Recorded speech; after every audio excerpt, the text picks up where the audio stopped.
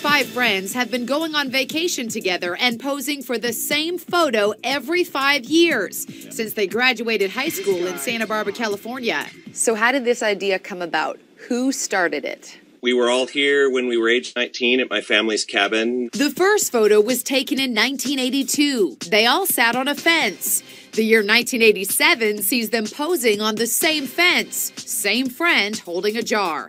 And it goes on. 1992, 1997, same pose, same jar. It continues in 2002, 2007, 2012, and now this year, 2017. You've maintained that same expression through all the photos. So, I gotta ask you, why so glum? I think we were trying to look cool. Four of the five friends sat down at the campsite. One guy left early with good reason. And where's your fifth friend? Dallas Burney, um, normally in the middle, is on his way to his honeymoon. We miss him and wish he could have been here.